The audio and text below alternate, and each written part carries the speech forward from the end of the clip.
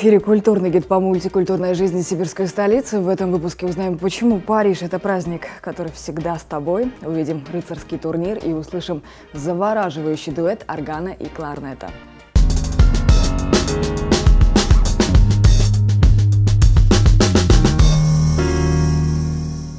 В Москве завершился и телекинофорум «Родные тропы», в котором проект «Мир наций» стал финалистом. Он вошел в список лучших медиапроектов о межнациональной дружбе и сотрудничестве. О том, как проходил сам форум, готов рассказать мой коллега Антон Михайловский, который стал участником события. Антон, я тебя приветствую. Расскажи, как претенденты на победу встретили друг друга и откуда приехали участники. Да, Настя, привет и тебе. Для начала скажу несколько слов о самом форуме «Родные тропы». Это своеобразная площадка для общения и обмена опытом профессионалов в области кино и телевидения, каждый из которых в своих работах рассказывал и показывал нашу многонациональную Россию, традиции, дружбы народов, особенные места и выдающихся людей нашей страны. Всего на конкурс было отправлено около 70 работ из 16 регионов. Это и Пенза, Тамбов, Саратов, Таганрог, Великий Новгород, Новосибирск, Москва и некоторые другие. И как ты уже догадываешься, выбор победителей был очень непростым занятием. Антон, а в каких номинациях рассматривались сами работы? Всего номинаций было шесть. Это лучший медиапроект об истории родного края, лучший этнографический, экологический проект, проект о межнациональной дружбе и сотрудничестве, а также лучший документальный фильм и лучший визуальный проект. Что касается жюри конкурса, то оно отбирало победителей под председательством заслуженного деятеля искусств России Алексея Погребнова. Напомню, что проект телеканала РБК Новосибирск вышел в финал как лучший медиапроект о межнациональной дружбе и сотрудничестве. Также отмечу, что документальное кино лидировало на телекинофоруме. Много победителей определилось именно в этом жанре. Например, лучшим медиапроектом об истории родного края назвали работу об истории московских трамваев, а лучшим документальным материалом – фильм «Доктор Лиза» о жизни выдающегося доктора Глинки. Насколько я понимаю, кроме знакомства номинатов и церемонии награждения, участников ожидала насыщенная программа. Да, Настя, программа оказалась действительно насыщенной, я бы назвал ее даже просветительской. Секретами мастерства с авторами работ поделились известные телевизионщики и продюсеры Алексей Юдин, Равшан Аскеров, Александр Гольбург, Герман Трегубенко и Павел Богатыренко. Отмечу также, что начинкой телекинофорума стали мастер-классы, экскурсии, кинопоказы работ участников, а еще номинанты и гости родных троп поучаствовали в интеллектуальной игре «Фан-стория», посвященной кинематографу. Спасибо, Антон Михайловский, о том, как проходил один из самых престижных телекинофорумов в Москве «Родные тропы». Под завораживающий дуэт органа и кларнета новосибирцы почтили память российских немцев. Все началось в 1941 году. Указом от 28 августа началась масштабная операция по выселению немцев из Поволжья в Сибирь, Казахстан и Среднюю Азию. В 188 эшелонах ютились 452 тысячи человек. За время перевоза многих высаживали в степи, где семьями они умирали от голода и холода. А оставшиеся в живых достигали пункта назначения, где трудились, чтобы выжить, а выживали, чтобы трудиться. Прошло много лет, но слезы на глазах не высыхают у очевидцев этой страницы истории. Эрик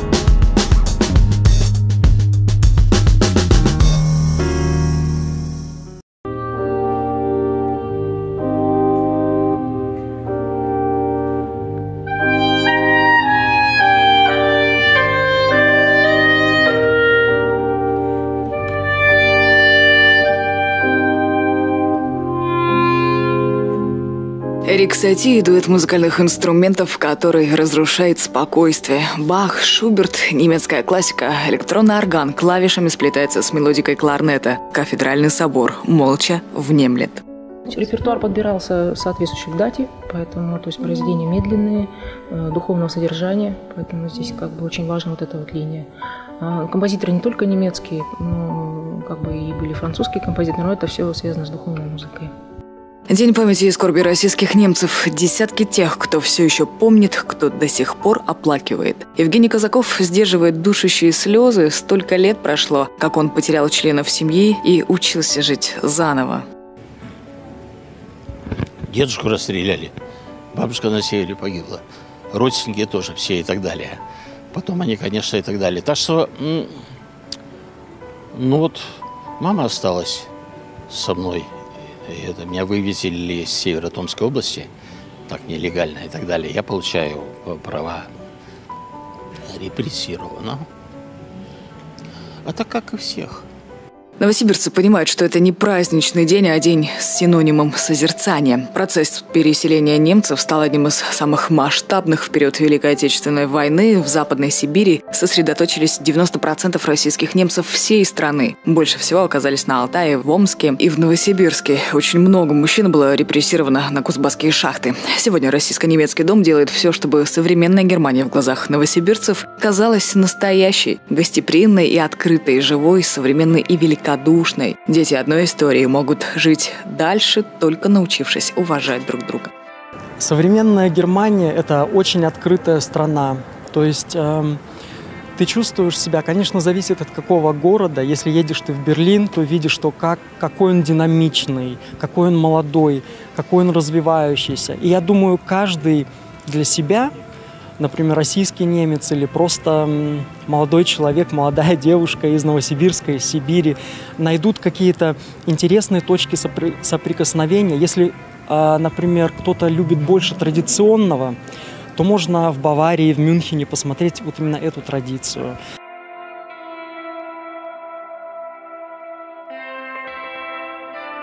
Анастасия Овчар, Яна Скоморохова, Мир наций.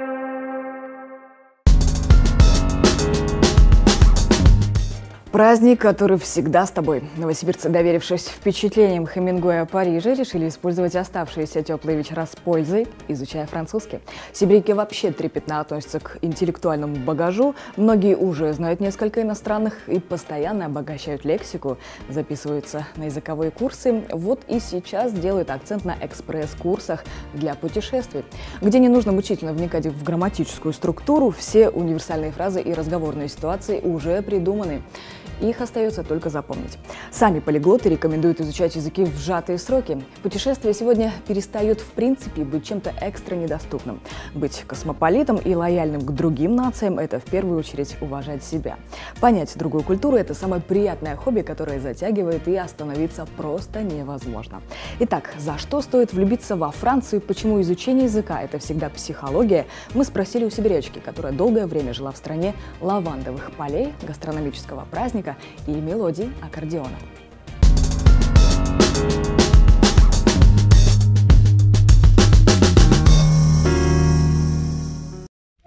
Попадая в эту страну, тебя окружает песня и вечный праздник. Это крем-брюле с карамельной корочкой и виноградные улитки по-бургундски, паштет из трюфеля и бисквитное печенье Мадлен. Но это только гастрономический рай. А в раю, как и положено, должно быть много составляющих. Сибирячка Мария Прокина посчитала нужным поделиться своими знаниями о стране и научить языку всех, кто решил своими глазами увидеть Тулузу, крепость Монсен-Мишель, Лувр и Анси. Экспресс-курс французского придумала как панацею от стеснений и психологического зажима режима перед носителями языка.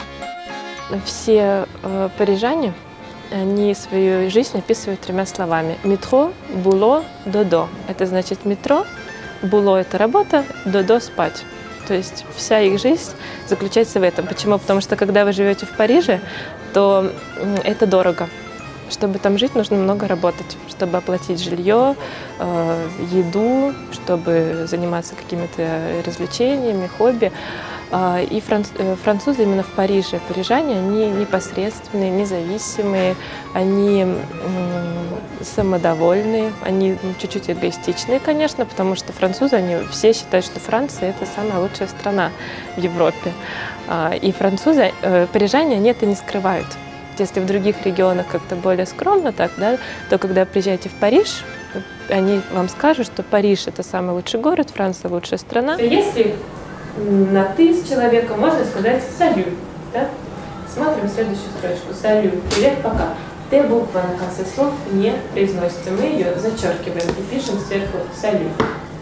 Потому что в фильмах иногда слышим «салют». Да, это На «ты» с человеком и с французским языком приходят учиться новосибирцы, которые жаждут познать мир и стереть границы на политической карте мира и в своем сознании. Эрудиция и кругозор – лучшая одежда уверенного человека. Для Маргариты, ученицы экспресс-курса по французскому, это третий иностранный. Для большинства людей, которые с языками на «вы», главной проблемой все-таки является стеснение, а не плохая память. Бывает, что в твоем словаре и лексики вроде достаточно, но составить простейшее предложение не получается из-за неловкости. И над этим важно поработать каждому путешественнику. Не надо стесняться.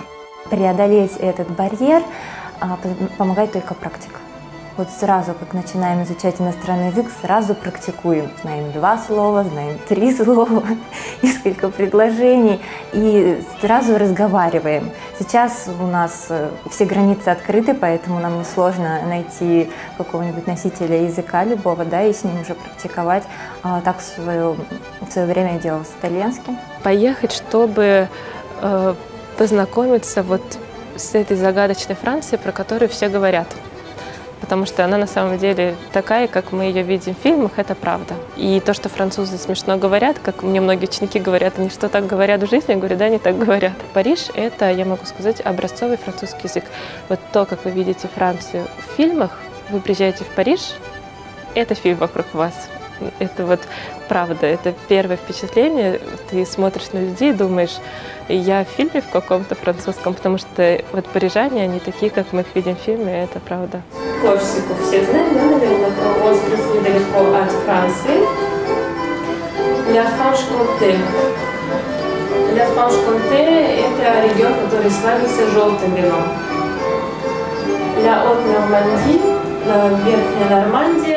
Анастасия Овчар, Александр Спищук, Мир наций.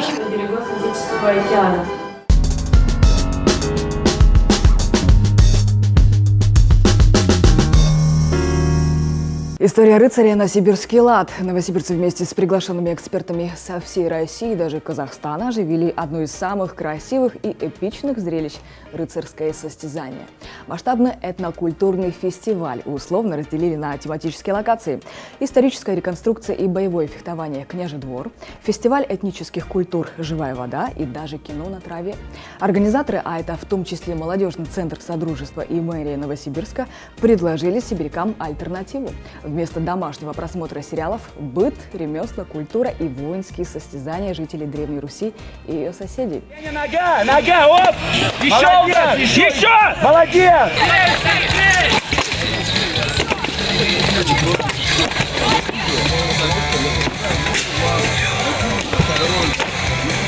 Ристалище – не что иное, как архаизм, который привыкли называть место проведения состязаний от старорусского «ристать», «двигаться», «бегать». Русские богатыри, золотоордынские богатуры и европейские рыцари с достоинством проигрывали и с уважением к сопернику одерживали победы. Зрелищно, мощно и правдиво. Живая иллюстрация средневекового быта. Наша съемочная группа увидела не только поединки, но и узнала у судей накануне ристалища, в чем философия возврата к истории. На ресталище проводится несколько номинаций, то есть это одиночные бои, где, грубо говоря, нужно перефектовать друг друга, и массовые бои, то есть где ком а, команда из пяти человек сражается против команды э, из пяти человек. Задача, чтобы противники все оказались на земле, то есть уронить э, подножками, ударами, э, ударами ноги, щитом, то есть не, не обязательно именно оружием. Вот. Массовые бои, они более зрелищные, потому что представляют такое ми мини-массовое сражение. Разрешены четыре вида металла. Это сталь 3, а, самая легкая в обработке, но по весу самая тяжелая. А сталь 65, а, рессорная, то есть многие мужчины, наверное, поймут, а, что это такое. Она легче, то есть ну, весь, опять же, боец обретает какие-то преимущества, у него легче доспех, он быстрее перемещается. А нержавеющая сталь, ну, плюс, я думаю, и так понятный, доспех уже не ржавеет, как бы это плюс определенный, потому что не нужно его постоянно чистить после вот, погоды, как сейчас и э, титан. Э, ну, здесь плюс, я думаю, опять же, плюсов масса, это он легкий, он не ржавеет, его очень тяжело э, согнуть при попадании какого-то оружия. Интересностей в нашей жизни масса. То есть кто-то катается на сноуборде, кто-то ночами гоняет на больших скоростях там, или машину свою перебирает, там, мощные двигатели ставит и так далее. У нас это просто, просто тоже определенный вид хобби. То есть это наш интерес. Нам нравится сочетать историю и, может быть, какие-то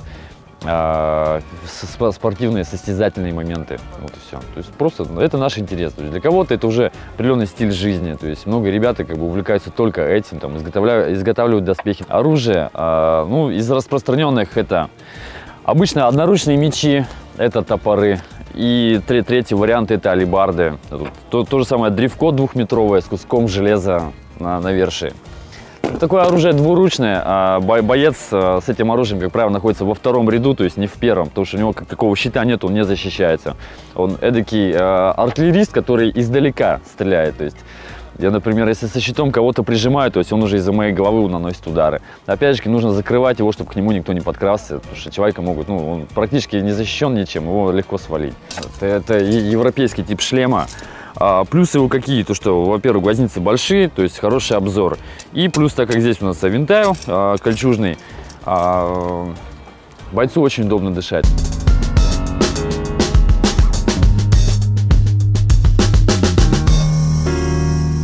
Белыми, синими и красными раскрасили горожане столицу Сибири. Новосибирцы отметили праздник национального триколора – День государственного флага Российской Федерации. Культурным эпицентром стала площадь у оперного театра, а также парки, скверы и набережная. Кроме зрелищ и активных развлечений, горожанам предложили и лектории, рассказывали историю российского флага, трансформацию его дизайна и предлагали викторины. Цветам российского флага приписывают множество символических значений, однако не существует единого официального толкования. Самая популярная расшифровка звучит так. Белый цвет символизирует благородство, синий – верность и целомудрие, красное – мужество и любовь. Стоит отметить, что 8 лет назад, в 2009 году, на площади Ленина состоялось торжественное создание живого флага России из людей. Ну а в этом году сибиряки выбрали фестивальный формат торжества со спортивными вкраплениями, акустическим концертом и, кроме того, весь день у памятника Ленина работал мобильный пункт по сбору донорской крови.